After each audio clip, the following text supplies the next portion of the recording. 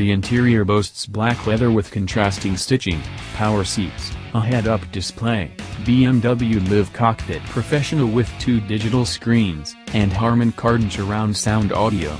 An adaptive, M-Tune Sports suspension, M-Sport rear differential and M-Sport braking package will manage the going and deceasing of power from the 3.0-liter inline six-cylinder.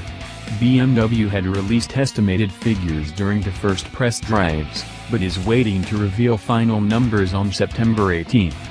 Whatever the precise figures, we're told the drop-top should be good for a sub-4 second run from standstill to 60 miles per hour.